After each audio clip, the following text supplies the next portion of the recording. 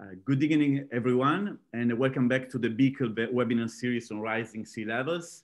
My name is Ivano Alogna. I'm the Arthur Watts Research Fellow in Environmental Climate Change Law, and it is my great pleasure to welcome you back to the series and to today's webinar on climate change litigation before domestic courts. It is great to see so many participants here this evening, in addition, of course, to our excellent speakers. Thank you all for joining us and for your interest. Now, I have a few logistical things to mention, then I will hand over to Lord Carnwath, who will be chairing today's session. Let me just start by thanking uh, Landmark Chambers for supporting this webinar series and to BIICL for convening, in particular, our events team, Bradley, Carmen, and Liam for registration for Zoom support. I would like also to remind everyone that the recording of the previous three sessions are already available on, on uh, the BIICL website, and also that this one will be uploaded in the next few days. Finally, if you have any question for the speakers, please do use the Q&A function on your screen. We will have time at the end for uh, of all presentation to ask as many questions as we can to our speakers. And now it is my pleasure and privilege to introduce Lord Carnwath as today's chair. Lord Carnwath is a former UK Supreme Court judge and now an associate member of Landmark Chambers. He's an honorary professor of law at University College London and an honorary visiting professor in practice at the Grantham Institute at the London School of Economics. Uh, he's an honorary president of the UK Environmental Law Association and he was a founding member of the EU uh, Forum of Judges for the Environment and of the Global Judges Institute on the Environment.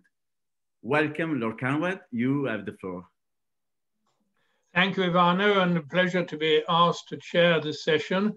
And I'm looking forward very much to hearing the ranges of, of, lectures, talks we've got. Um, this, as you know, is the fourth of a series which have been looking at aspects of rising sea levels, although I think this evening we'll be looking rather more at uh, domestic litigation and rather than necessarily the focus on the sea. We're lucky to have three um, highly qualified speakers who come from different angles.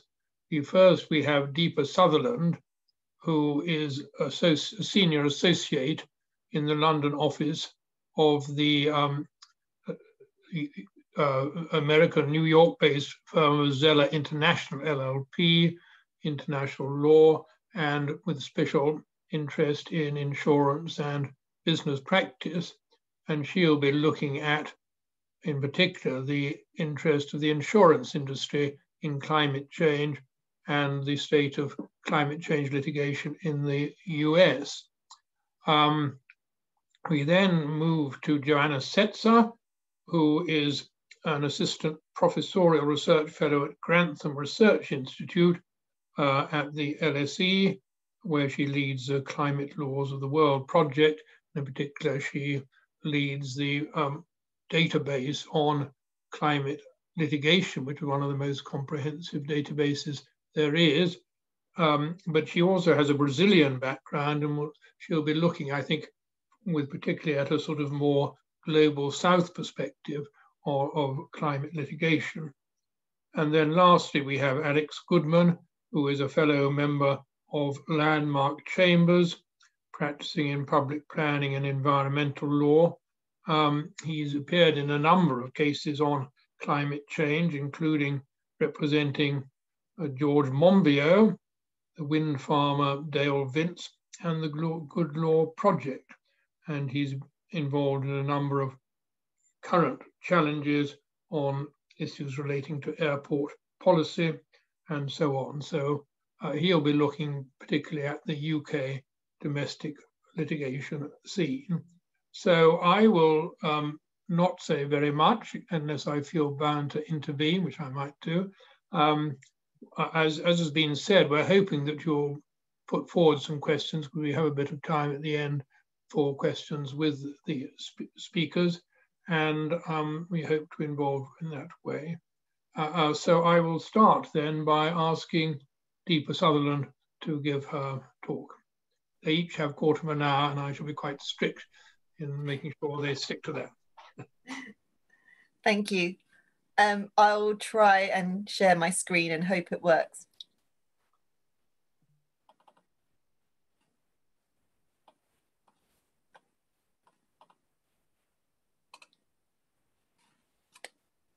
Sorry, I don't know why. It's, there we go. Okay, firstly, thank you so much for um, inviting uh, Zelle to speak at this um, with such a distinguished panel. We hope you'll find what we're going to say useful and a, a nice insight into the insurance industry in general.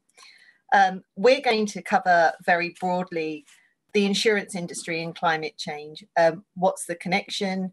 What risk and exposure does the insurance industry um, face? We're also going to look very, very broad overview at climate change litigation in the US, how it's developed and where it is at the moment. And then we're going to consider where next for climate change litigation and also how will the industry respond.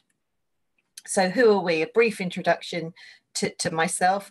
Zeller coverage lawyers for insurers. Liability insurers have a duty to defend and indemnify their policyholders against claims made against them by third parties policyholders are being sued right now for causing climate change, and they notify claims to their insurers.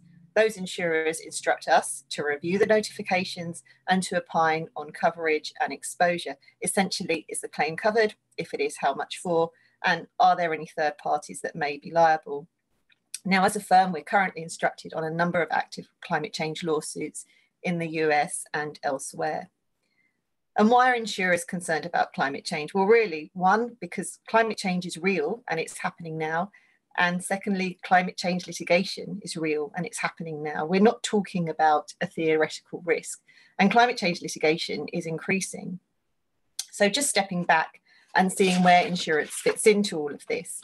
Climate change is a business issue. There's an economic cost to it. The obvious examples are flood damage, wildfires, everything is insured people's homes, oil companies, professionals.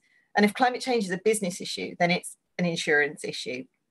Just think of property damage claims, business interruption losses, liability claims. But the insurance industry faces a unique exposure. Firstly, as an investor with its own shareholder obligations, and then secondly, on the underwriting side in paying claims. But those two sides of the business aren't always tied up. And here we're focusing very much on the claims side. And the industry is vulnerable to catastrophes caused by climate change, which impacts across all business lines. But there's specific concerns about the liability exposure, really because of how far reaching it is, how significant it is, and how uncertain it is. What is certain is that at some point, trillions of dollars are going to be exchanged in connection with climate change, which poses a threat to the industry itself. And given the role of insurance in underpinning financial stability of the whole system, a threat to the wider economy. And these increased vulnerability risks also trickle down to issues like affordability of insurance and sovereign risk. So briefly, why is climate litigation in increasing? Well, really because of the perceived or actual lack of political will to do anything. Activists are using courts as a forum for change whether it's routine actions or strategic actions aimed to shape and change behaviour or policy. In parallel with that, climate science is developing. Arguments are being tested in court. Plaintiffs are being creative and bringing claims on all sorts of bases to see what works and where. And we're focusing here on the carbon majors litigation in the US. And we're often asked why carbon majors in particular are the targets of lawsuits. The easy answer is they're the biggest emitters. Um, Furthermore, climate science has now quantified their respective share of global greenhouse gas emissions, which gives plaintiffs something to work with. Also, plaintiffs are looking for systemic change. What, what, what underpins the whole system, the society we live in? And of course, they have deep pockets. It also avoids some rather uncomfortable circular arguments of, of who is the end user and who actually is responsible for climate change.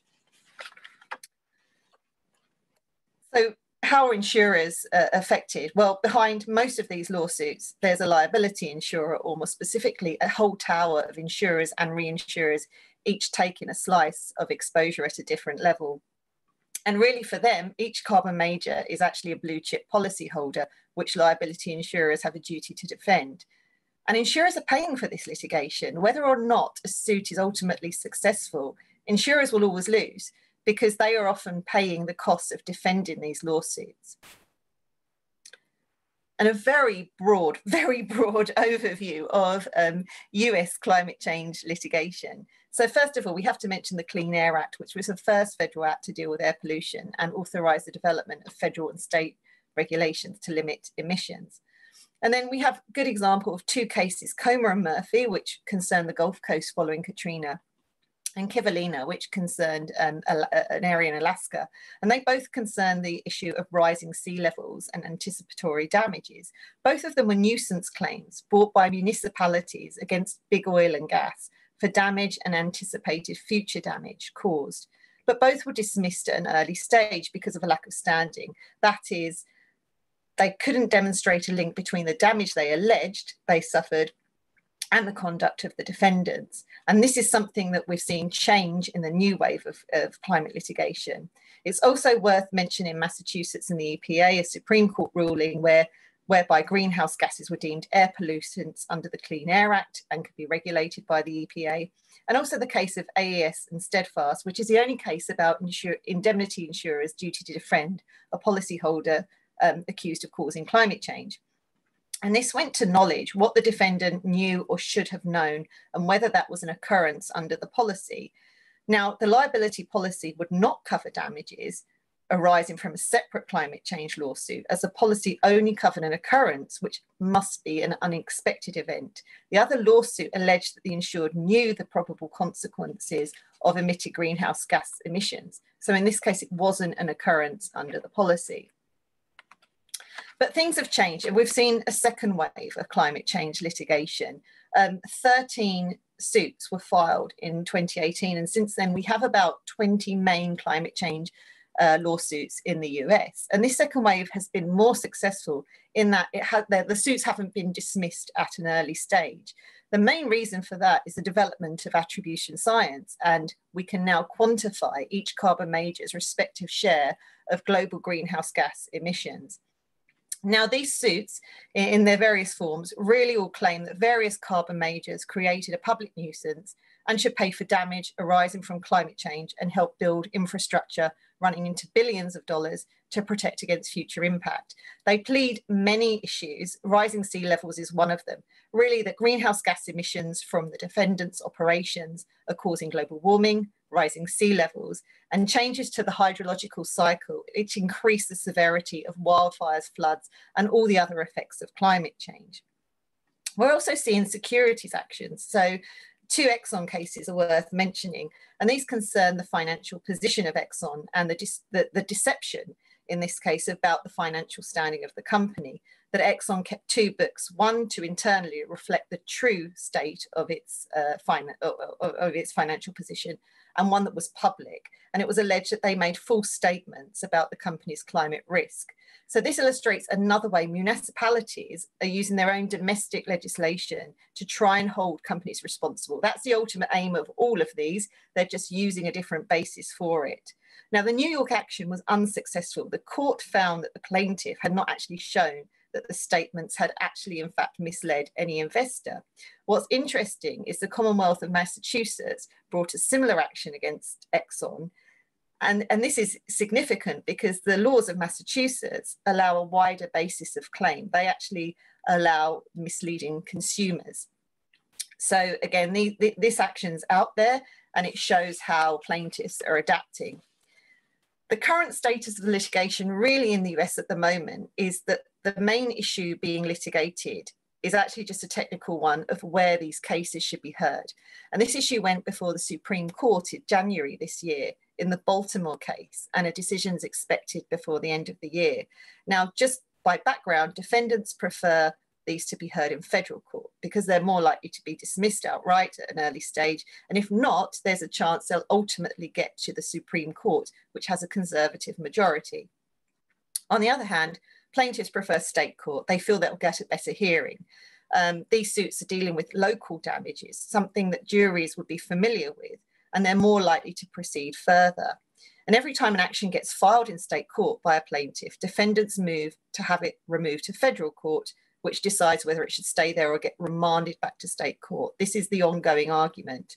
And the Supreme Court is seeking a review of this in the Baltimore case. Um, and the other lawsuits are really, in effect, stayed pending that outcome. Some officially, and some are just really waiting because this ruling would determine the, the, the other courts how to proceed. And this judgment is going to be significant because it will indicate broadly how things are going to proceed in the states. But even if defendants are successful in the Baltimore action and federal court is considered the appropriate place for these sorts of cases, um, just much like everywhere else in the world, we're seeing cases brought on other bases. So one example is Juliana, uh, also known as the kids case, which was brought on a rights basis. Um, and this was dismissed rather sympathetically by the court and plaintiffs have now amended their complaint to address the deficiencies that were identified in the original, and they've filed that amended uh, complaint. So we're seeing cases being amended and certainly no sign of litigation abating. This chart here shows the current status of the main lawsuits in the US, and it's from the plaintiff firm Sher Edling's website. Sher Edling are responsible for bringing uh, most of these cases. Obviously, the other two databases of climate change litigation are the one that was mentioned, maintained by the Grantham Institute, and also the Sabin Center in the States. Excuse me. And what this really looks like for the insurance industry is a list of its premium policyholders. But the industry has seen this before.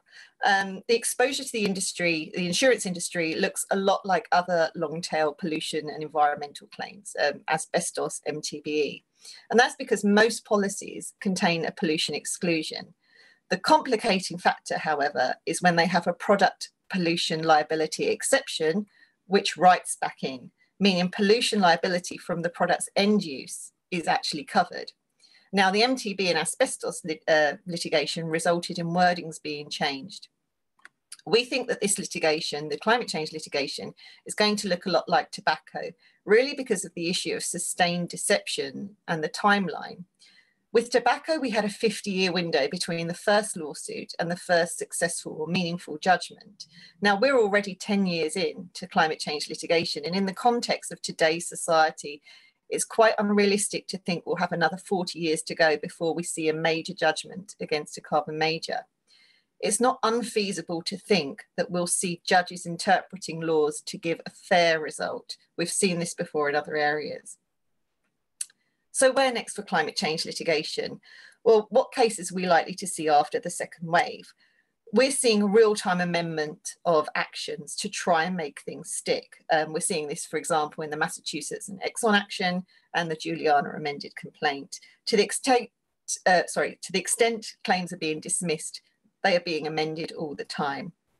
We're also likely to see more rights-based actions as we are in Europe, whereby plaintiffs aren't looking for damage or, or compensation, but they're looking to change corporate behavior. That's the goal. And plaintiffs have been increasingly creative with their, uh, their arguments. We're seeing that all around the world. Um, parallel to this, climate science is developing. So there's no sign of this abating. Um, we might also see subrogation actions. We might also see actions against other industries uh, as evidence develops. We might see a raft of D&O claims. Um, we're going to see a new era of, of climate litigation. So given that, where next for insurers? Well, first of all, it's absolutely crucial that the industry acknowledges the litigation risk. Um, there was a report published in January this year of guidance from the insurance industry to identify and disclose the impact of climate change on their business. And this followed a pilot of 22 insurers and reinsurers on implementing the TCFD recommendations. And that report acknowledged something we've been saying for a long time that insurers simply aren't focused on the issue of litigation risks because they haven't paid out claims based on climate change related litigation. In essence, they're betting on winning, the carbon major winning every lawsuit. There are, however, developments. Um, the Bank of England's PRA is undertaking a quantitative assessment of litigation risk. That hasn't been done before by the industry, and the findings are due May this year. So whatever happens, it's very clear climate change exposure, it falls back onto the insurance industry and insurers are more exposed than other businesses to climate change. They must integrate climate risk at all levels of the decision making. they're subject to their own reporting requirements in terms of investment and underwriting claim side. And yet we don't always see this fully addressed with the, the ESG, but it's fundamental because insurers are picking up the bill. They must align corporate and underwriting and claim strategy because we have a paradox here whereby the industry is insuring industries and companies, they're actually eroding their pockets in liability claims and threatening their very business. And that's something that's going to become increasingly difficult to explain to shareholders. But there's an opportunity here, given the size of the insurance industry, which is one of the largest, uh, the largest global industries. It holds around a third of all global economic assets and liabilities on its balance sheet it's in a very strong position to bring about that systemic change that we all want and shape behaviour through investments, through incentives, through underwriting policies and new products. However, the industry itself has its own strategic and structural barriers that it needs to get around before it can make change. It also raises some of the bigger, perhaps more metaphysical questions. Should insurance indemnify a policyholder who's carried out a sustained deception over decades? Should climate change actually be insurable? those are beyond the scope of, of our expertise, but ultimately insurance reflects the economy we have. And as long as hydrocarbons are part of our economy, there'll, there'll be insurance. In this respect, it's very different from tobacco, MTBE, and asbestos. They could be removed from the food chain fairly easily. Hydrocarbons can't just be switched off. We're all dependent on them. So we really need to have a, a, and be thinking about a realistic transition away from the polluting energies to green tech Insurance is only, and it's always been, only the backdrop to a wider transitioning economy, but it can incentivize that transition.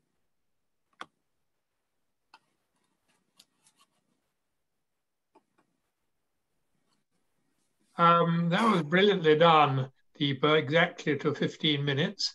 And a fascinating study of, of an, an, aspect which I think we don't look at enough. And I certainly got a lot of questions I'd quite like to ask about that. But thank you so much. That was brilliant. We now, I think, turn to Joana, who I've already introduced. She'll be looking at it from a slightly different angle. Over to you, Joana. Thank you very much, Robert. Um, I'll set my timer here because Deepa did so well and I don't want to lose track of time. Um, let me also share my screen with everyone. Oops. Oh, no. I'm starting to make changes to my presentation, not yet. Sorry. Um, okay. All right, good. So hopefully you have my screen with you and um, my presentation um, is going to follow from what Deepa has presented in terms of looking at climate litigation. And um, this time, actually, I was very happy to be invited to, to, to be part of this panel because whereas I'm, uh, I've often spoken about global trends in climate litigation, I like when I'm prompted, when I have this challenge of focusing on something specifically. So I, this time was, uh, had a, a good opportunity to look more closely at sea, sea level rise litigation and uh, especially looking at that from a, a, global south perspective. So I'll give you a very, very brief overview of what we know in terms of global litigation, but I will try to focus on, on, on these uh, particular trends. So um, uh, this is the slide I was changing without wanting. So very well. Um, before I go into those specific cases, I wanted uh, to uh, basically remind you, in case this is not clear, that climate litigation involves uh, quite a, a, wide variety of cases. It's not all about carbon majors, it's not about, all about suing uh, states like the Urgenda case. We have really uh, quite a heterogeneous group of cases that uh, involve both these uh, so-called strategic litigation, so um, cases that go beyond the individual litigant bringing the case and that seek to advance policies or drive behavior shifts or um, encourage the public debate even. um, to all the way to civil and administrative procedures that are brought in pursuit of private interests. So these might not involve activist intent, but they do bring climate change to courts. And, and examples of these are litigation seeking to uphold, uh, uphold planning approvals, or um, even uh, we have a number of cases in the database about um, allocation of uh, EU allowances under the EU trading scheme. So hopefully this uh, is a reminder that when we talk about the total number of cases, it involves all of these. Um, so in terms of the total amount of cases, um, this is something, uh, it's a study we publish every year where we look at uh, trends in, in litigation. And uh, this is from the, the la last 2020 report. We're currently working in the new one uh, with updated numbers, but uh, the you won't be uh, this won't change radically that the majority of cases is still very much concentrated in the US. So we have over 1,200 cases in the US and uh, other over 400 cases across the world.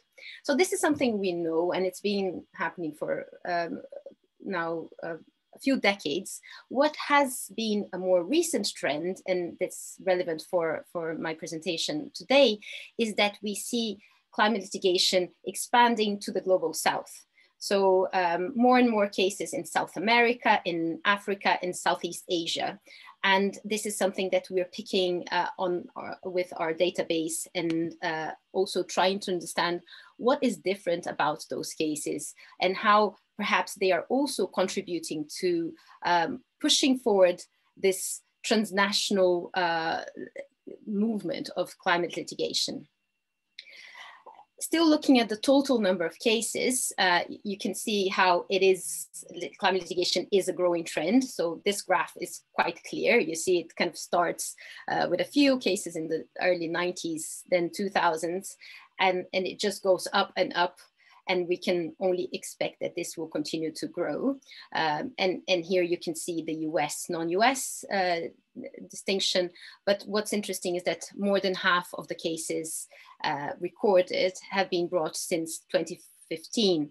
So really since 2015, as Deepa mentioned, we, we see uh, climate litigation becoming stronger, more present, to the point that now there's no way that insurers or governments uh, can pretend that this is not happening. So climate litigation became not only a fact, as Deepa said, but also a, an increasing risk to a number of actors. Um, this is the report that I mentioned that we publish every year. So keep an eye for July 2021 when we'll uh, launch the new one. Very well. Where we find all these cases in the databases that have been mentioned. So the GRI one that uh, has over uh, 2,000 laws and policies, all climate related climate laws and policies from around the world. And uh, we have, this is from yesterday, 1,775 uh, cases of litigation worldwide. The uh, Sabin database also has the US, uh, the details of each US case, which we don't have. But just to show you, uh, yesterday I was, as I was preparing this presentation, I typed sea level rise here in the search button. And uh, I had 28 results. So we currently have 28 cases that have brought issues of sea level rise uh, outside of the US only. Um, what are these cases? Well, it's I will go into a few of them, but uh, a majority of cases in Australia, um, some international cases, and a few cases around the global south. So I'll tell you more about these before that, just to explain how we define climate litigation, that's um, a methodological question, but also an important one because we do end up excluding a number of cases that particularly for the topic of this presentation, sea level rise in the global south, uh, as a result, we, we end up not picking many of, of uh, cases that I'm sure exist. So um, we don't include in our databases uh, cases where climate is incidental. So sea level rise, uh, its impacts and it, uh, can be uh, wide. So uh, in terms of uh, affecting existing constructions or in planning applications.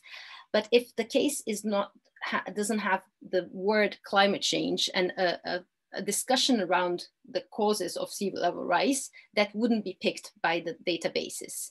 Um, and more generally, cases dealing with adaptation and disaster recovery that don't have explicitly the word climate change are not included.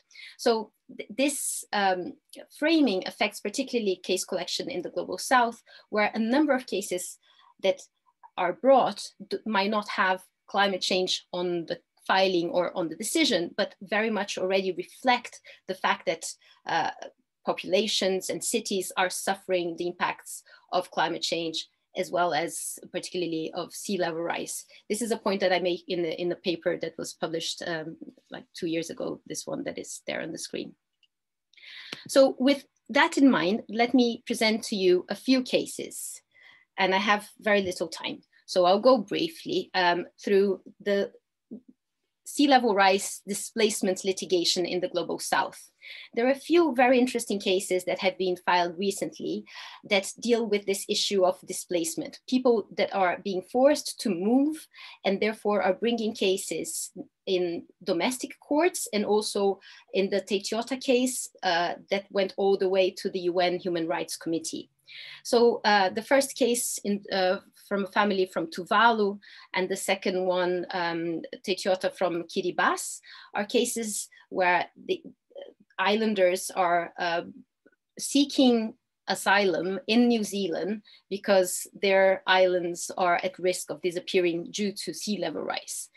Um, these cases are quite interesting in that they uh, show the limitations of the existing international frameworks and also domestic legislation to deal with people that are displaced because of climate change. And the decisions that we've seen basically um, are, um, they still allow for uh, maybe future cases to be brought on these bases, but they, uh, particularly the last one, the Teitiota case that was decided in January 2020, uh, found that the effects might expose the individuals to a violation of, of their rights, but that the because the the effects the sea, actually the effects of sea level rise won't be felt in 10 to 15 years. There should be enough time for the governments to take measures and therefore it shouldn't be oh i see an alarm? Uh, this is my alarm. Okay stop. Cancel. Now i need to stop the alarm. Okay. The alarm is not stopping. I'll throw it outside. Um, so um, these are the two cases that are really sea level rise displacement in the global south. I want to very, very briefly, and I'm sorry, I will take two minutes extra, uh, Robert, to say that there are other cases that deal with sea level rise and vulnerable groups, but that are involving countries in the global north. And these are the, for example, the Torres Strait climate uh, case that was filed against Australia, but uh, brought by this group of islanders saying that the government, the Australian government is uh, not taking the necessary resilience measures to protect the islanders. And a very recent case that was filed a, a few months ago by a group of Indian tribes in the US uh, who submitted a complaint to a number of UN special rapporteurs uh, complaining that the US government similarly is uh, not including these populations in decision-making processes and not uh, also uh, having enough funding and measures to protect these uh, tribes from the effects of climate change. Um, both cases are ongoing and, and we'll see, uh, particularly with the first one, with the one against Australia, what the outcomes might be, which might be quite influential. Now to finish, um, I want to finish with a question, which is why don't we see more of this type of litigation in the global south? We all know that those populations contributed less, they are suffering more, and a number of these cases are particularly at risk at, uh, of sea level rise. So there are endless uh, scientific publications, and here's just one example of uh, one that shows that the effects of uh, vulnerability to sea level rise to those communities is it's very important and uh, quite extreme in countries such as Jamaica, Cuba, uh, Bangladesh, uh, Vietnam, etc. And still we see very few cases. So in that paper that I mentioned, I had a few hypotheses for that. And I will finish with this, these hypotheses. I don't want to take more time. Uh, one is that these countries lack expertise, both legal, so lawyers who know how to bring these cases, and technical, because there are often not enough uh, domestic uh, national studies and data to support those cases. Secondly, uh, it, it, they also need uh, financial resources. It's very expensive to bring litigation, and often it's not a priority in these countries to, to be bringing cases to court. And, and lastly, a point that I like making, which is in many of these countries, litigants are afraid of bringing cases. Um, there, are, there is uh, not, it's not uncommon to have prosecution and even killings of environmental activists who um, use different tools to um, from protesting to bringing lawsuits uh, in, in such countries. So I'm happy to, uh, after in the Q&A, to give you more details about some of these other question um, cases in the Global South that I have identified, such as the one involving mangroves in Brazil and this Adani port in India, all dealing with sea level rise in courts in the global south. But my key message is, is that it's still very, very limited the number of cases that we see in the global south. So I will stop here and um, I'm looking forward to Q&As. Thank you all for your attention.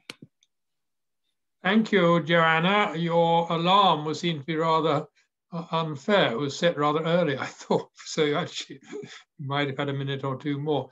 And I think we might, I'd like to come back um, when you, when we get on to QAs, on to, to the Brazilian experience, because I think there's been a very important case in the Brazilian Supreme Court, which we're waiting for the judgment on.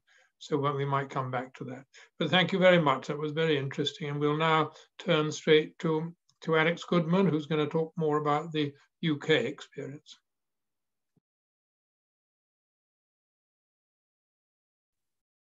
Thank you very much, Robert. Um, I hope you can see my screen, can you?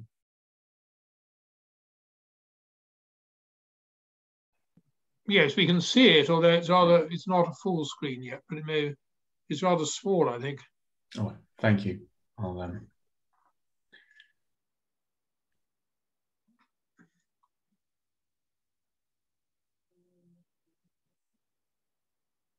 Yes.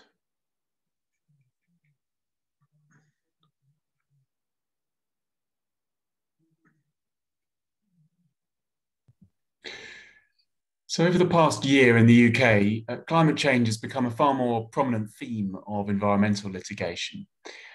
That it's become more prominent, I, I would suggest, is a function of two particular factors the desperation of campaigners on the issue and the contradictions and tensions within state policies and practices.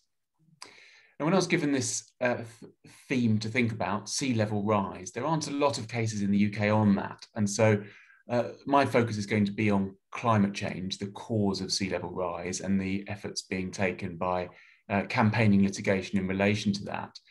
And it brought to mind one of the great foundation myths of Britain, which is that in 1027, King Canute displayed his wisdom by demonstrating uh, that man could not control the rising of the sea. but the scientific consensus a thousand years later is that's no longer true we are now in a position to control the extent of sea level rise by limiting our impact on the warming of the earth. And the UK courts align with the science on this issue, and I've put up the divisional court summary of the concentration of greenhouse gases in the Earth's atmosphere is directly linked to average global temperatures. The concentration of GHGs has been rising steadily, and with it, mean global temperatures. Since the start of the Industrial Revolution, and the most abundant GHG, accounting for at least two thirds of all GHGs, is CO2, which is largely the product of burning fossil fuels. The increase in global temperature has resulted in, amongst other things, sea level change, a decline in glaciers, the Antarctic ice sheet and Arctic sea ice, alterations to various ecosystems, and in some areas, areas a threat to food and water supplies. It's potentially catastrophic. I've put all the slides up on the landmark website. So all of the references in this, you don't need to note them down. You can find them there. Um, I've got very many more references than I'm going to be able to go with, through in the time, but my hope was that by noting them down, you've got them for future reference.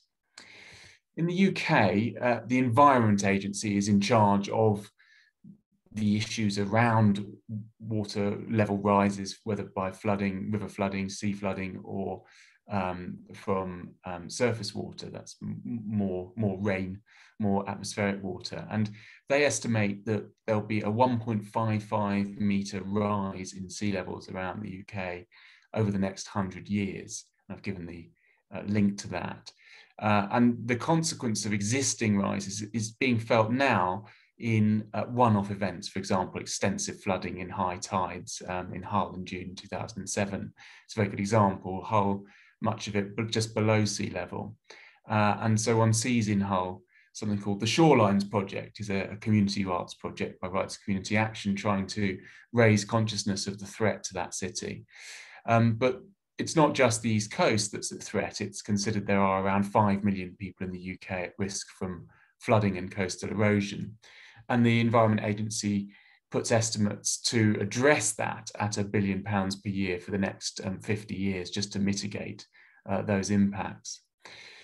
The environmental movement has been campaigning on this for, of course, many years. Uh, and without much success, we, we're still in a position of increasing the usage of fossil fuels, uh, globally speaking.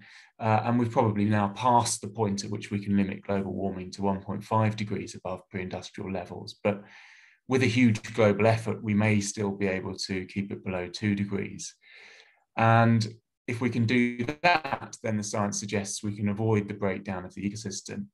And it's that sort of moment where litigation comes into play in the UK um, because in the British administrative legal system, administrative law is, is always to be a measure of last resort. Uh, and we really are in the uh, last, uh, last resort now. Um, and, and so one sees campaigning uh, claims being brought resorting to or relying on fundamental or constitutional rights, constitutional minima. Um, one has to understand the context for litigation. And I set out there an important um, passage from the Rights Community Action case last year from the Divisional Court, making clear the court is only concerned with legal issues raised by the claimant as to whether a defendant has acted unlawfully. It doesn't go into the political realm at all.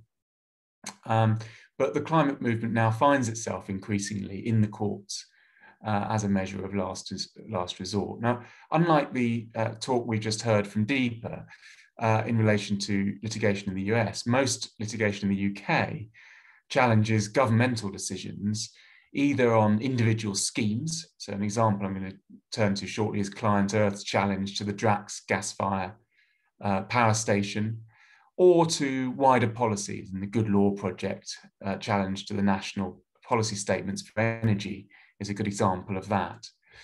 Private law litigation around climate change is much rarer in the UK, partly a function of the way the costs regime works. We have a very straightforward system of cost protection under uh, implementing the Aarhus Convention for judicial review, that's administrative law, public law cases.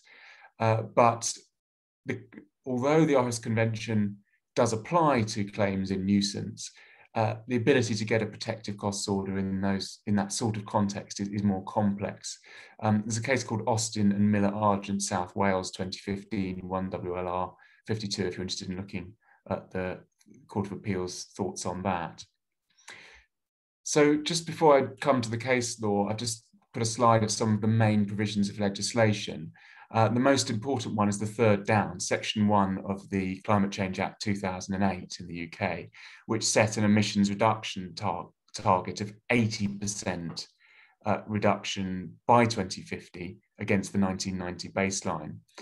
That was amended in 2019 to a 100% reduction against 1990 baseline by 2050, uh, which is actually a highly significant uh, change and is estimated by the Committee on Climate Change, the Parliamentary Committee on Climate Change, to equate to uh, requiring the 80%, the former 80% number to be hit 15 years earlier, in other words, by 2035. So we've halved the time that we were previously anticipating for our emissions reductions in the last year. So I should probably start with the Supreme Court's judgment uh, reversing the Court of Appeal in the Friends of the Earth case concerning the airport's national policy statement, which is primarily concerned with a new runway at Heathrow. The Court of Appeal had held that the Paris Agreement was a component of government policy and that the Secretary of State was obliged, therefore, by Section 5.8 of the Planning Act 2008 to take account of it in designating the airport's national policy statement. This was before the, the new statutory target in the uh, Climate Change Act was adopted. Uh, the government didn't appeal that judgment of the Court of Appeal, accepted it, but the uh, developer Heathrow Airports did. And the Supreme Court gave a judgment of the court delivered jointly by Lord Hodge and Lord Sales, in which they reversed the Court of Appeal, held at paragraph 122 the UK's obligations under the Paris Agreement were given effect in domestic law in that the existing carbon target, that's the old 80% target, and the carbon budgets that had been set under Section 4. Uh, and so the uh, government had, had complied with its duties under the Climate Change Act and under the Planning Act in uh, adopting the airport and designating the airport's NPS. Uh, the Paris Agreement itself didn't give rise to legal rights or obligations over and above the domestic provisions. Uh, it was also held as a matter of fact that the Paris Agreement had been taken into account. Um, so that's where that litigation got to in the Supreme Court. Um, it has, however, raised the issue on the back of that judgment. Well, given that the Section 1 target as to the uh, reduction by 100% now by 2050 as opposed to 80% has been amended since the airport's national policy statement was designated. Doesn't that now need to be taken into account? And there is under sections 6 and 11 of the airports of, of the Planning Act a continuing duty to take account of uh, new material considerations. And so uh, a number of parties have raised that, including um, the Good Law Project and George Monbiot, uh, and it looks that that may be heading for further litigation.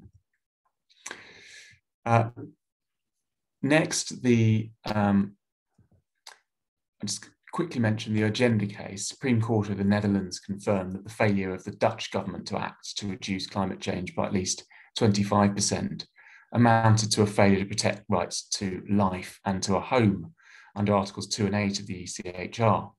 And of course, that's relevant to the UK because we're a signatory to the European Convention on Human Rights and because it's incorporated in domestically through the Human Rights Act. Uh, I think what would perhaps, I mean, that conclusion is a bold one, not one one would expect to see in a UK court, but what was even more surprising to a UK lawyer is the translation of that uh, human rights obligation to a specific requirement on the Dutch government to reduce a specific proportion of emissions. Uh, I've cited another case which is following on from that, uh, quite an interesting, uh, originated in Portugal, but involves 33 countries uh, now in the European Court of Human Rights. Uh, next, the Plan uh, B and others case. Um, I've, I've cited that as a contrast really to Urgenda. This was an earlier challenge by Plan B, separate to the Heathrow case, where they alleged the failure to amend the emissions reduction target, which I've already mentioned and has now been amended, uh, was a violation of Articles 2 and 8 ECHR. And that was actually refused permission. It was held to be unarguable. Ms. Justice Supperstone saying that this is an area where the executive, that means the government, has a wide discretion, echoing the spirit of the margin of appreciation as applied by the European Court of Human Rights and the traditional deference of UK courts to administrative decision makers. And I've cited an interesting article on that. Uh, so that really shows the contrast between the Netherlands Supreme Court, where uh, and, and the domestic approach in the UK. Um, the four successful claims in the UK are what I'm going to then focus on for the remainder of my time. Uh, in the rest of the slides, you'll see there are a lot of other claims that relate to climate change um, that have been unsuccessful, but they do indicate uh, something of a slew of litigation recently. Uh, the first was the case I was involved with for Dale Vince, George Monbiot and the Good Law Project. That related to energy national policy statements. The argument was that it frustrated the exercise of the power uh, powers in the uh, Planning Act 2008 to continue to rely on outdated policy statements from 2011 in light of the way both the science and the domestic legislation had moved on. In the event, uh, the Secretary of State has now agreed to review energy policy, and so that litigation was settled. There was an outstanding issue around whether it should be uh, suspended pending the uh, review, but uh, that was decided not to be pursued. Another recently settled case was a challenge by Irma's Dawes to a development consent order under the Planning Act for the development of, of, of, of Manston Airport. And the Secretary of State has conceded that his reasons were inadequate, uh, in particular relating to consideration of climate change. And I've given a link to the consent order. That's now going to be reconsidered. The McLennan case, extremely interesting. Uh, it's a, a, very small development at issue. Uh, a neighbour objected to his next door neighbour's development, saying that the uh, house built, being built next to him would shadow his solar panels and deny his ability to contribute towards mitigating climate change. The local authority said that that's a purely private interest, no relevance to planning. And Mr. Justice Lane overruled that and said, no, it's part of the wider matter that is a material consideration, uh, which is the uh, uh, mitigation of climate change. And so it does establish uh, an important point actually that mitigation of climate change is, is both a material consideration but, but also one that's capable of requiring a decision to be quashed if it's not taken into consideration. So it's one of those forms of material consideration where it, it can it can give rise to a situation that um, a, a, failure to take it into account um, requires the decision then uh, to be retaken. Uh, uh, then the uh, next um, successful case, this is the fourth successful case, is the Stephenson case. And this was a challenge to the National Planning Policy Framework paragraph related to fracking policy. And the court found the government had failed to take into account scientific evidence put forward by the claimants.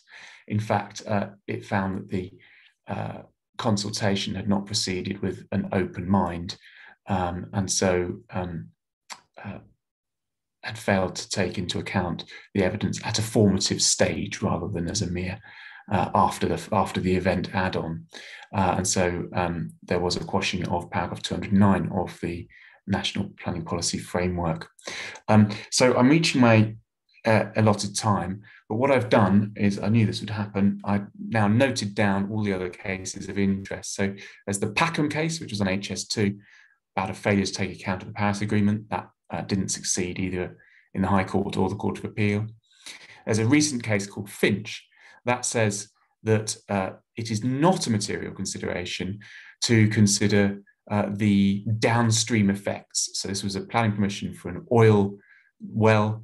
The fact that the oil, when burned, would have impacts on the climate wasn't a matter that had to be taken into account in the environmental impact assessment. Uh, Carswell was a challenge to a, a housing scheme uh, and failed on the facts, uh, but there was a challenge on climate change grounds. Similarly, Hewitt, another challenge to a housing scheme. Again, they had the, the, the climate change impacts had in fact been considered. Plan B Earth proposes a new claim, which you can see on my slides at a later date. And then there are four final cases in the pipeline. The Transport Action Network is challenging the uh, uh, uh, roads policy. Friends of the Earth is proposing a challenge to a mega project in Mozambique by way of challenging the use of public funds from the UK to support that project. It's quite an unusual case. Uh, there's, a, there's going to be a called in public inquiry concerning the West Cumbria coal mine. That's just been announced. And permission has been granted uh, in a challenge to the post Brexit replacement of the emissions trading scheme, again, based on the Paris Agreement. Thank you very much. Well, thank you, Alex. I was wondering how you managed to get through all that in the time, but you did very well. And I think it was very interesting looking at those four cases, which were successful in different ways. Actually, what you did, I think, illustrate is how success can come in very different ways, and, in, and indeed, in some cases, as a result of a case being settled. And even a sort of local case of the lady whose um, solar panels were being impeded. As it shows that even at a really small level, that this can become important. So thank you very much for that.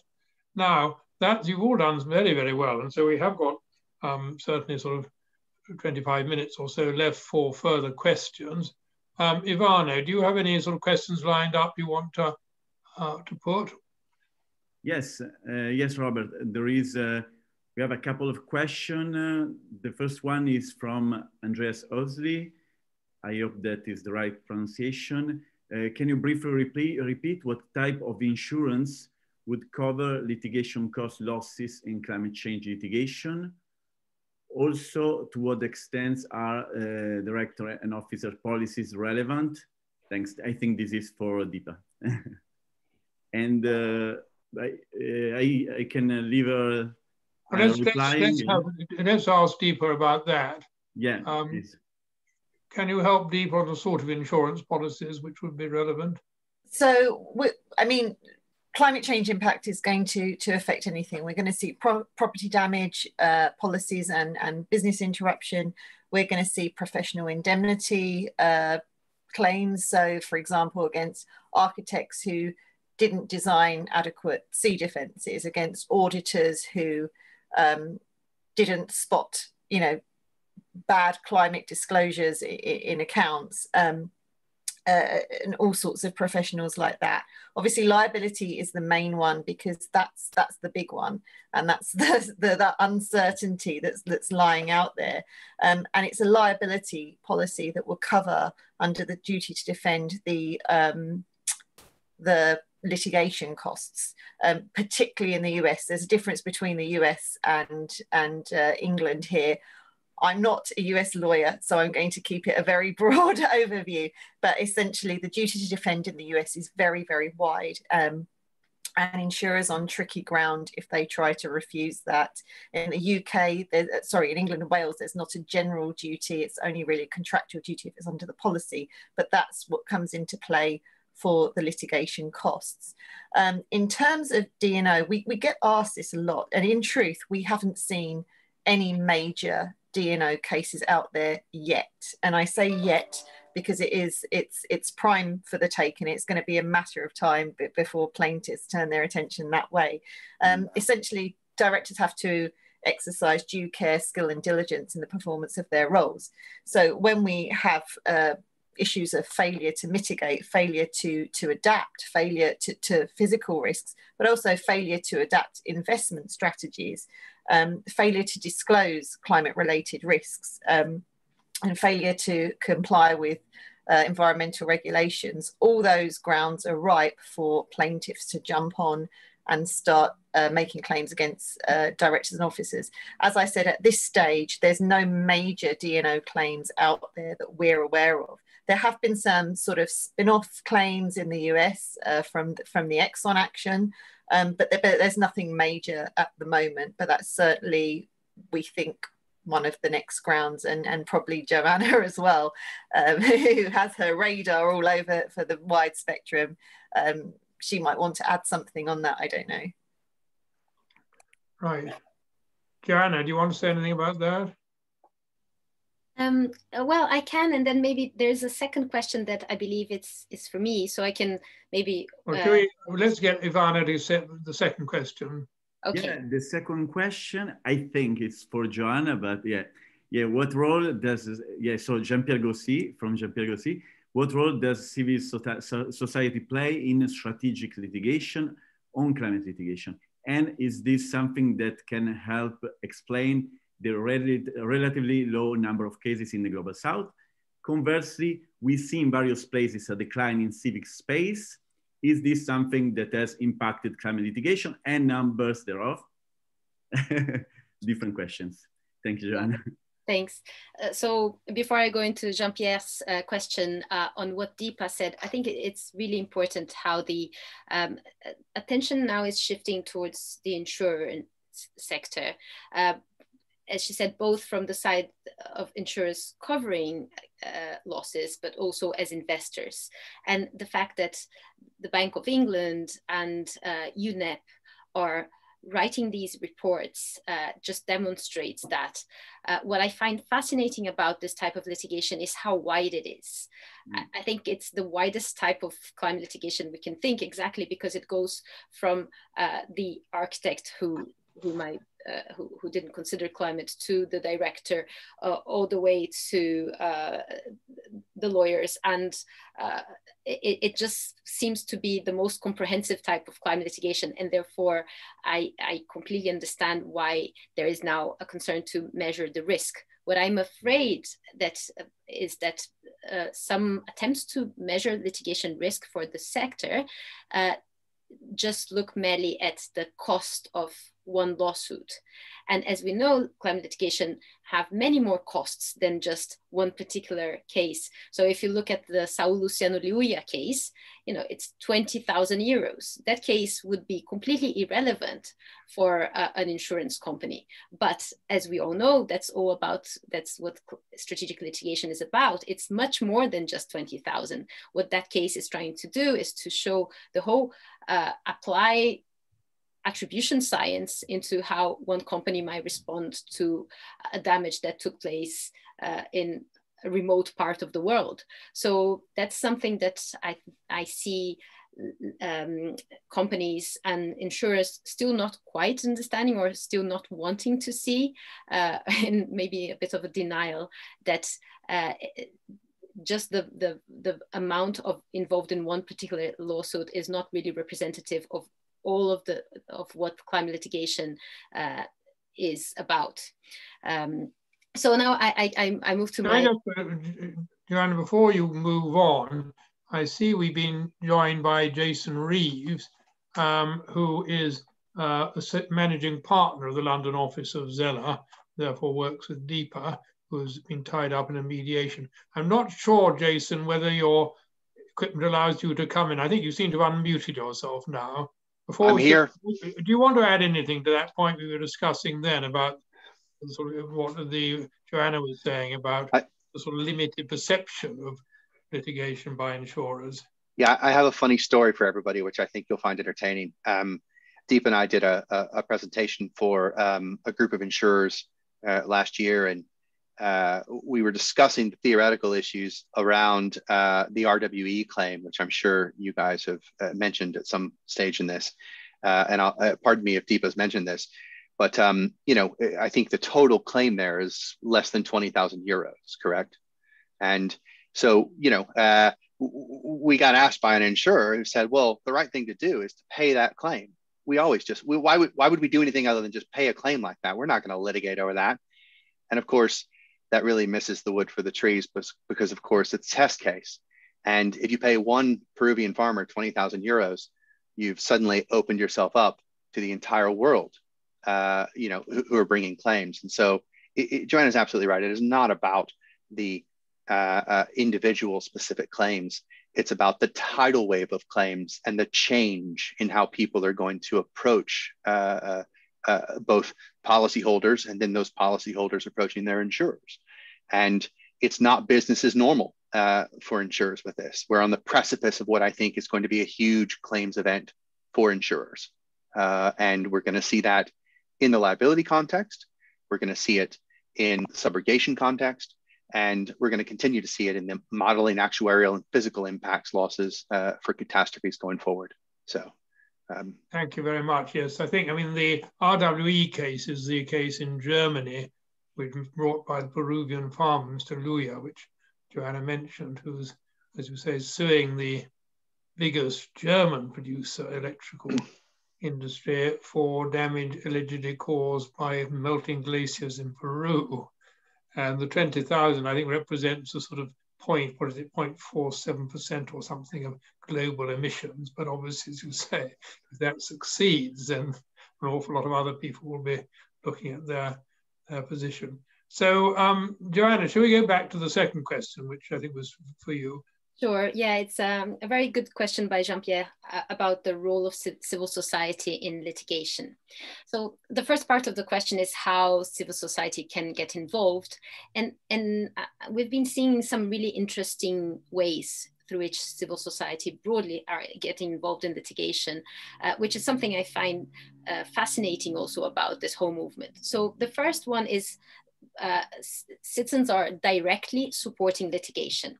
So um, I think the, the one of the best examples is the French case Notre Affaire à tous uh, against uh, the state, uh, the French government, and that case was supported by over two million French citizens. If I'm not mistaken, they, it took them a couple of weeks only to get all those signatures. Um, and, and there's another one in Belgium where they have 60, 100,000, so not as many, but it's, uh, I, I, read recently that that's, um, so 60, 100,000 citizens who officially registered as co-claimants in the Belgium case against the government, making it the largest uh, lawsuit in Belgium in history. So you see how these cases are really bringing citizens to courts in a way that we haven't seen before. Um, the other poss possibility for people to get involved is by funding litigation, which is another very uh, interesting way of getting involved. So you can imagine that some people basically prefer not to go and protest on the streets. They want to, they think that litigation is indeed a good way to pressure governments or corporations. And what they're doing is they're funding some of these cases. And there's something called uh, crowd justice, which um, was the main funding for the Portuguese case, the, the case brought by children against 33 states that Alex mentioned, that case was crowdfunded. So you have people from all around the world funding uh, barristers and lawyers to, to bring a case. And this shows really how civil society uh, uh it, it are getting involved in um, litigation through a number of different channels. Now, um, the, the question of uh, why we don't see so much in the global south is, is, is an important question. And in, in my view, one of the key reasons for that is that climate change is still quite low on the list of priorities of a number of these countries. So in terms of uh, there are first all the social economic problems, education, uh, housing. And then in terms of environmental problems, there's waste, access to clean water, and uh, air pollution. So in many of these countries, talking about climate change is still something that is something that people in the north are worried about or that you know maybe it will affect us but it doesn't affect us now. So you know let's focus on what matters at the, this immediate moment. So um, that's something that is starting to change. And together with that change we see how it's also um, the, the cases are increasing. It used to be uh, a decision of litigants not to bring climate change in a case exactly because they knew that courts weren't ready for that in the global south and that you wouldn't get support from citizens by bringing a climate case. This is changing. We see more and more litigation. So in uh, we were talking robert mentioned that, that there are really interesting cases in brazil and uh, these cases uh, are initially were very much focused on individual situations of uh, one per, one case of deforestation, so one lawsuit filed against that one person who uh, cut down some trees, and now we see cases brought by, against the government for inaction, for omission, for not implementing uh, the climate policy that is already that already exists, cases that are uh, linked to the constitutional right to a, a, healthy environment. So climate litigation in the South is becoming more complex and evolving as uh, together at the same time as society, I think, uh, becomes more concerned. That would be my answer. Thank you for that. Um, I mean, Alex, I wonder, is crowdfunding, do you know, happening in this country in, in, in UK? Yeah. That...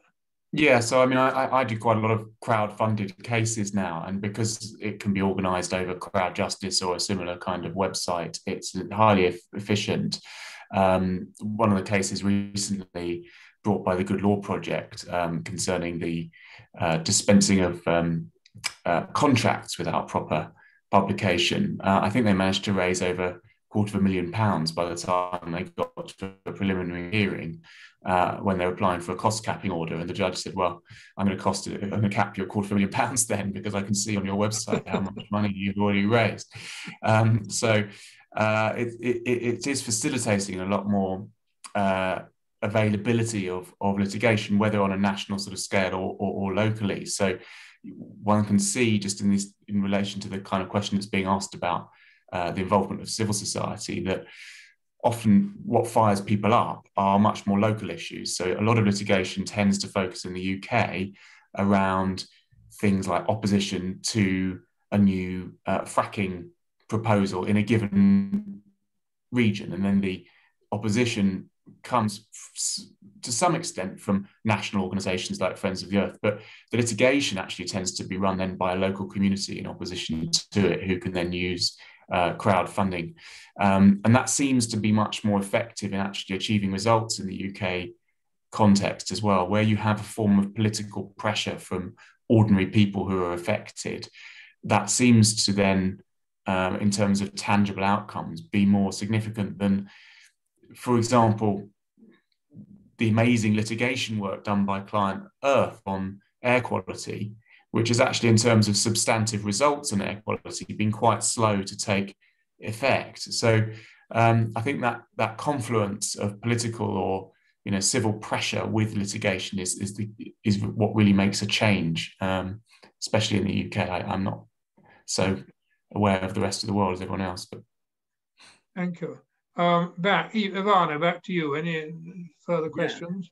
Yeah, yeah we have uh, other questions. Uh, so from um, Mr. Wincott, uh, long question. The Drax case was interesting insofar as permission has been granted for this bill to go ahead, although the company has now apparently decided not, to not proceed, having established that there is a need for fossil fuel generation in order to meet greenhouse gas reduction targets, is there a danger that the UK will end up in a situation where it is very unlikely to reach its greenhouse gas reduction tar targets?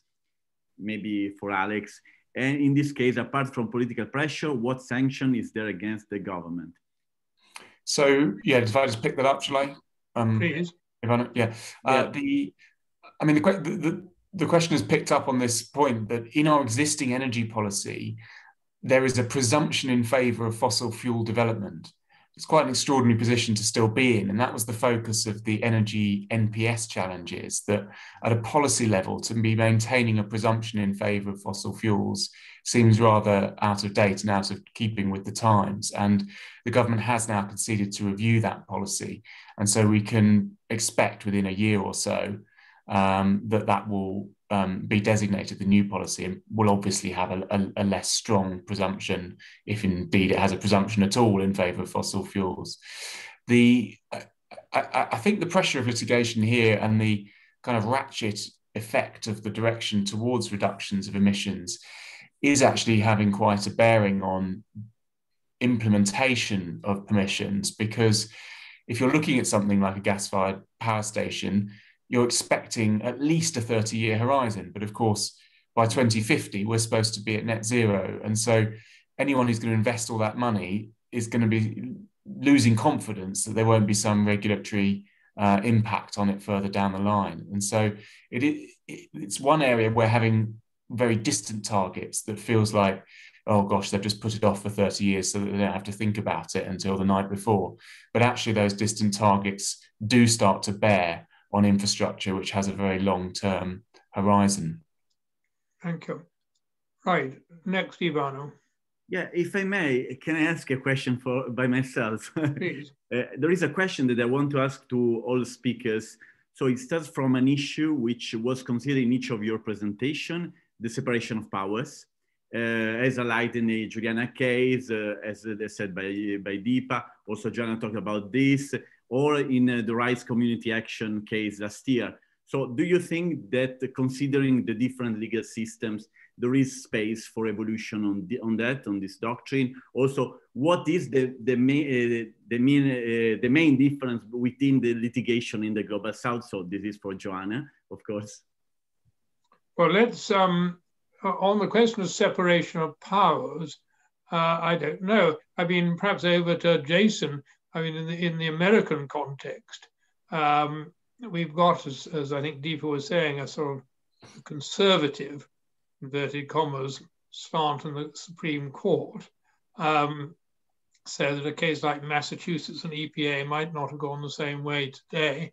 But, um, and the Juliana case was very much, although sympathetic court, they said, well, actually, this has got to be a matter for the administration, even if the administration under Mr. Trump is not doing anything about it. Um, how do you see it? I mean, perhaps should I ask Jason or Dean? Perhaps Jason, he's coming late, and he comes. He's an American smart. How do you see this sort of working out in the USA, which where there's more litigation than anywhere else?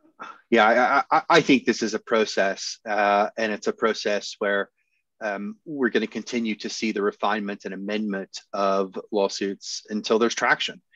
Um, the world is moving very quickly, and I think that even with a conservative judiciary at the federal level, I think that you know we're not having the same discussions about climate change now that we had five years ago or 10 years ago.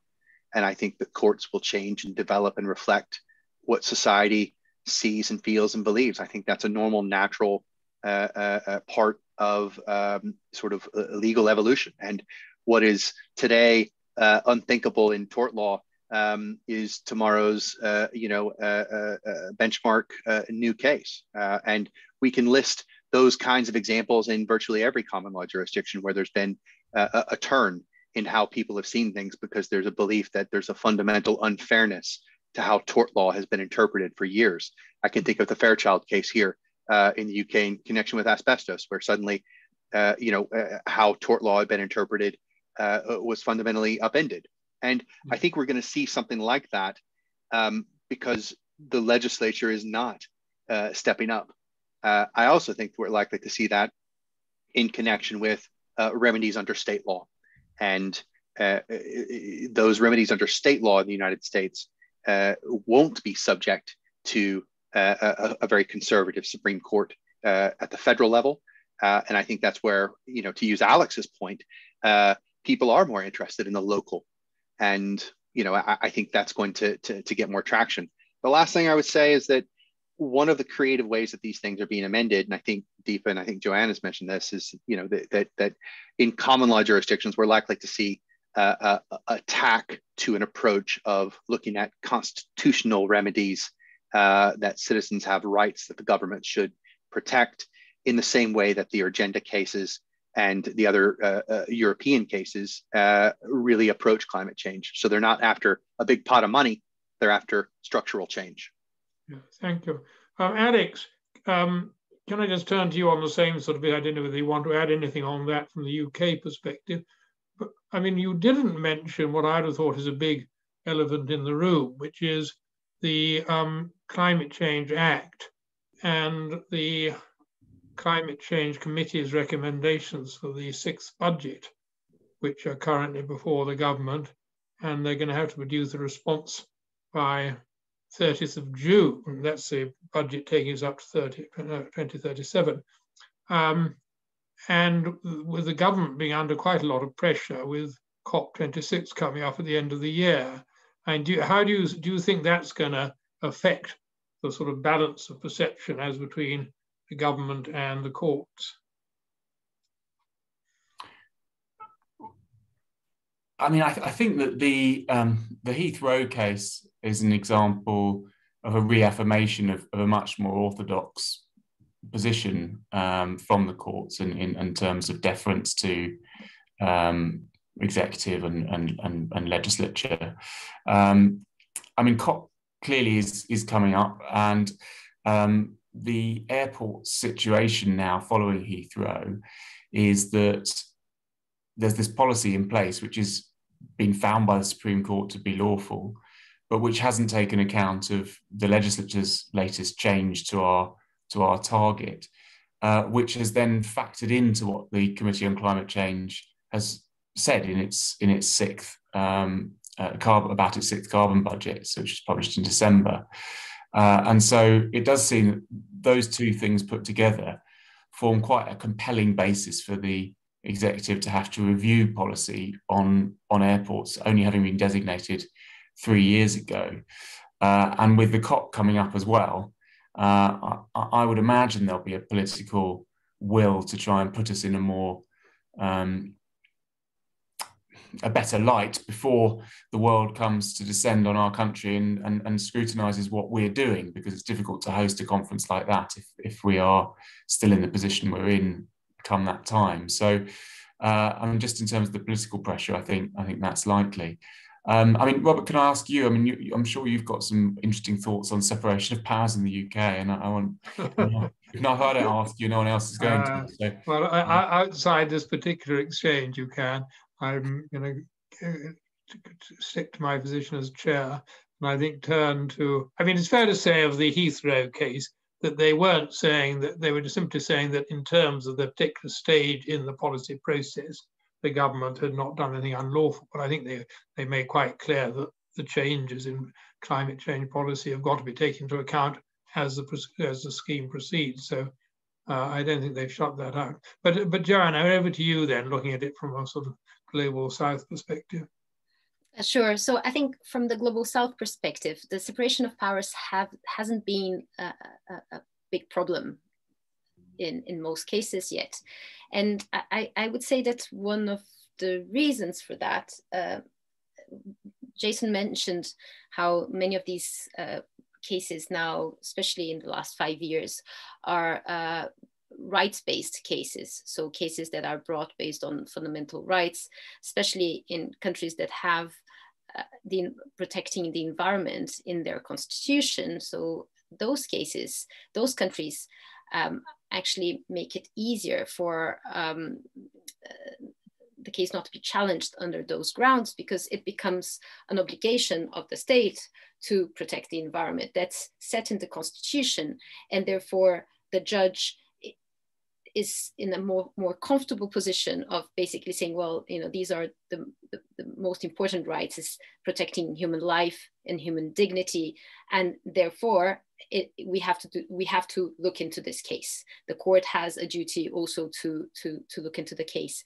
And, and I think that's probably most clear and um, I, don't think we'll see anything like that actually as in the Leghari case in Pakistan where uh, the judge not only uh, decided that the case was um, that that indeed the government had to do more, but the judge himself rolled up his sleeves and decided to set up a committee. And he sat on that committee, and he only left when he felt that things were happening. So, if, if you if you think separation of powers is a problem, then look at the Leghari case. That's you know that's really how um, you can see the urgency of climate change becoming uh, very much uh, being embraced by the judge. And I think that addresses another question that was asked about activist judges. So I just wanted to mention uh, that uh, because it reminded me of uh, Justice Ali Shah, this judge who decided on the Leghari case. He came once to London and, and Robert uh, hosted an event at the Supreme Court. Um, and I asked him how he felt about uh, when people called him an activist judge. And, and he was, he said he, he really didn't like that. He disagreed completely because for him, on the first place, he was deciding eh, he's a judge he's a human being and he he's decided deciding based on the law and the constitution and uh, on what and on the science. So he had all of that behind him. And then he said something really interesting. He said, you know, a judge that decides on a case on corporate law is not called activist corporate judge you know why do i who decide based on environmental law am i am i accused of, of being an activist so i think that that's quite enlightening and uh, has also a good sense of humor yes good well thank you for that i think Ivano, you had a fairly complete answer to your question. Do you have another quick question or are we coming to the end? Yes, we have another question and uh, is uh, uh, uh, any reflection on domestic courts touching on the individual state share in limiting emissions, portion to the joint obligation under the UN, UNFCCC or Paris Agreement, uh, like the approach taken by the Netherlands courts in Urgenda. So it's something uh, similar to what we were discussing. Thank you so much is really on the individual state share in limiting emission. Sorry, what the question is? What I didn't quite understand that. Uh, it's I think it's about the individual state share uh, yes. in limiting emission. This is uh, uh, what was decided also. What, what was discussed also in the in the Urgenda case. Yes. So, but I think the I mean uh, the Urgenda case, of course, that's uh, I mean goes back pre Paris Agreement. Um, but yeah. I mean, again, but the court did sort of pick up on what the the uh, Dutch government sort of commitments under Kyoto and held them to that. Um, I think more recently, um, Joana mentioned the uh, the French case where there the sort of French government were picking up on the climate change, the Paris Agreement commitments of the government. Mm. Um, I, I, think that increasingly we will find the, the, the, the sort of Paris commitments, the NDCs being treated as a sort of base on which to, to develop, but it works differently in different countries. Yeah. Um, so I think there's quite a lot of room. I don't know, does anyone want to say anything more on that subject? There is Jason that uh, raises hand. Yes, Jason. You'll have to I'll, unmute I'll, yourself. I'll unmute myself. I'm sorry about that. Yeah, I think one of the areas where we could see domestic court and activists take a stronger stance in connection to limiting emissions on a national scale is looking at the EU emissions trading scheme. Um, you know, I, I think that uh, that's a, a working uh, economic solution to taxing carbon that end users uh, have to pay for, as well as you know everyone who's involved in the economic food chain. And right now, the emissions trading scheme is not changing behavior because we haven't had the price of a ton of greenhouse gas emissions, the price of carbon, um, you know, exceed. I think the, the behavioral change point is about 80 euros a ton. And so I would think that that would be something that domestic courts could be used by activists. I think that's an area of um, activist litigation that's not been pursued yet. Um, and so those countries that are subject to the emissions trading scheme which was the EU's attempt to comply with the Kyoto Protocol obligations, but it's continued. Uh, you know, the supply of credits is too high. There's too many in the system, and uh, so I think that's a way that we could uh, see some economic leveraging uh, to put some teeth into real sort of uh, individual state share and limiting emissions. Right. Uh, Alex wants to add something. Just a quick point, Amelia, that I think this question really exposes the limitations of litigation because politically the argument on fair share is that the global north should be looking not at reductions of 100% but reductions of 200% given that they have contributed so much more to the uh, to the global um, situation uh, you know, the global quantum of carbon and um, but but the, North is never going to accept or uh, implement legislation or targets that can be litigated to hold it to account on that sort of uh, fair share type question. So I think this really kind of brings up an underlying theme here that litigation is always limited to what what law can be used, not to, and, and, and can't hope to uh, bring in a, a, genuine sense of equity. Thank you. Uh, Joana, just a quick remark. We've not got much time yes. now. No, no, very, uh, just a quick, very quick re remark uh, following Alex's point. I think what was really important about the Urgenda case was how they dealt with the drop in the ocean argument that was being brought by the government and, and, and, and really developed the notion of a fair share of global responsibility. So uh, uh it, it, as per the, the Supreme Court decision in the Urgenda case, a, a, country, and then, you know, of course, there is an issue of North and South, but, you know, it was the idea that a country cannot duck its responsibility to take measures by arguing that compared to the rest of the world, their own emissions are uh, insignificant or, uh, or very little. So uh, that, for me, that's the main importance of the fair share discussion is, you know, okay, it might be just a tiny bit, but still you have to respond and you cannot hide away. Um, so this is how they, they got the, the, the Dutch state to reduce emissions from uh, its territory in proportion to its share of responsibility. Thanks.